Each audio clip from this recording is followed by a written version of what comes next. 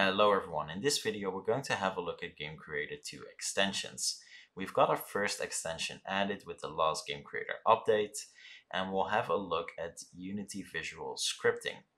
Before we get started, I'd like to thank all of my Patreon supporters for the amazing support. Once we're inside of our project, we need to make sure that Game Creator is up to date. So for this extension, we will need Game Creator 2.0.5.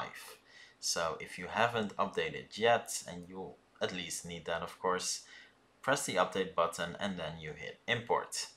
Then next up we will go to the Game Creator website and in the download section you will find Unity Visual Scripting.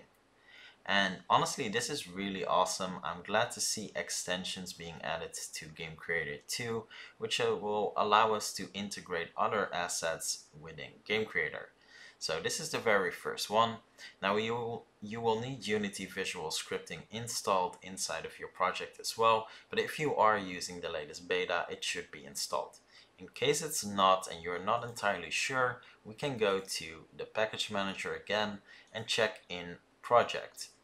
If you see Unity Visual Scripting here, so just Visual Scripting, then we're good. If you don't see it for some reason or you removed it, you can go to Unity Registry and look it up here under, well, as you might have guessed, visual scripting. So let's get back to the website and we'll download this. Now, if you're not familiar with what Unity Visual Scripting is, this was previously called Bolt. It was a asset on the asset store which Unity decided to buy and integrate inside of Unity. And hence they've renamed it as well, which makes sense so once we've downloaded that, we're going to open up the package and it will normally ask you to import it. Now obviously I already have it in my project, but all you have to do is click import. And you'll be able to find this under Game Creator and extensions. And here we have it. So yeah, pretty cool, pretty simple. Um, you don't really have to do all that much. So next up, we're going to go to Window, we're going to go to Visual Scripting, Visual Scripting Graph. Create a new graph. And as you can see, I already had a couple and I'll actually delete those and we'll just do a new one. And the first time this might actually take quite a bit longer. I do want to uh, mention that. So in case you're wondering like why is it taking so long for me? Is something going wrong? No, it's supposed to take a bit longer the first time, so that's completely normal. Then here we have our visual scripting graph. Now, if you're not familiar with how to use Unity Visual Scripting, or previously just known as Bolt, I'd suggest looking up, you know, the many, many videos on that, or at least documentation.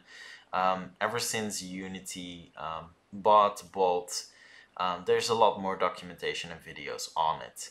Um, I will say that it's, um, you know, it's less intuitive um, if you're not a coder. So if you're a coder, it will be pretty straightforward and intuitive. If you're not a coder, there's definitely a steeper learning curve. I do want to add that. Um, however, it's really cool that um, we obviously have Game Creator support in there now as well as this will allow for you know more options as there will always be things that you can't do um, with either one of the two. So yeah that's pretty cool. Anyway let's get back to it. So what we're going to do here is we're going to uh, look for a uh, trigger um, trigger custom event. Then we're going to drag out. We're going to grab the actions here and we're going to um, do a game object literal. Now we do have multiple options. I'm just going to keep it simple and we're going to uh, drag a prefab in here. Um, one thing that you will note is that if you do not turn on, I mean that's for me anyway and I'm definitely not a not an avid bolt user so you know I might be completely wrong but I got a message saying that this had to be turned on because otherwise it wouldn't work.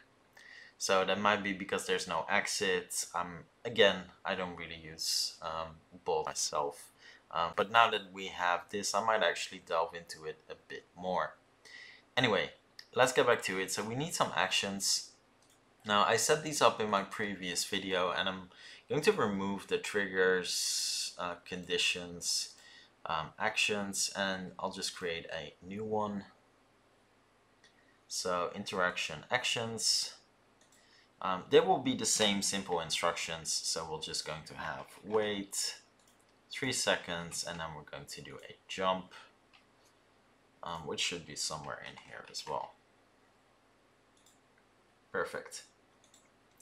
Now, one of the things that we will need as well is to create a prefab out of this. So I'm just going to drag it here, which is a horrible folder, and you should definitely create a separate prefab folder, but a prefab folder. But I won't be keeping this, obviously, so I don't really mind for now. And we're going to go back to our graph, and we're going to drag these in. This you can do uh, scene references and variables, just like you do with blackboards um, in um, in the behavior module, for example, for Game Creator 1. Um, but yeah, this is uh, just the easiest way to do it really, for now, in this case. So once we've done that, um, we will also need to add something to our scene because something, let me remove these, um, something needs to tell this scene that we're going to trigger this graph. So um, we have these here, um, and I'm not going to touch them. I'll just create a new object. There we go. And I'm going to add a script machine, which is what you will need for the graph. And we're going to open this up and it's going to reference the graph I just created. Now, you don't have to do that. You can also do an embed, which means it will only be specific to that object. Um, but I don't want that. I just want to use the entire graph. And now that we've done that, I'm going to hit play.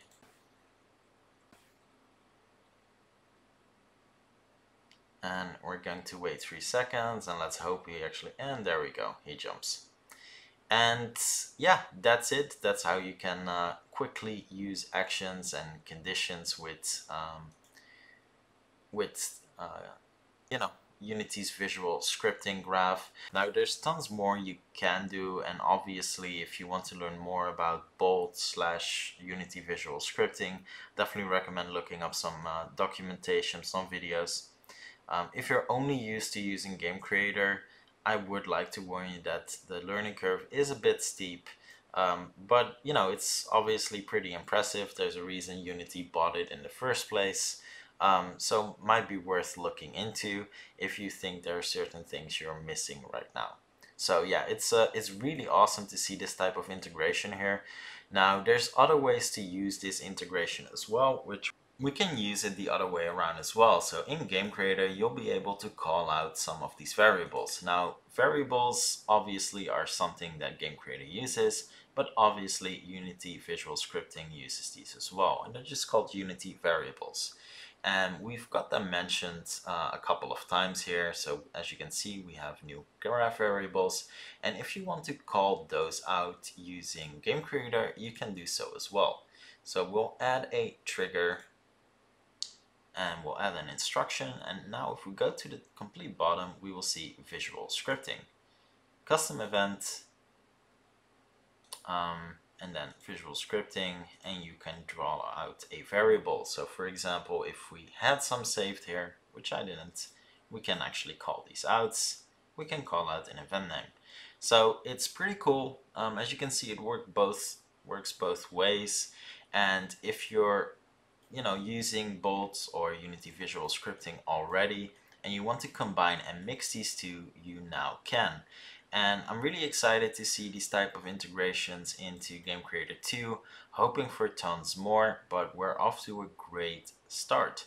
So that's it for this video. Thanks for watching and I'll see you in the next one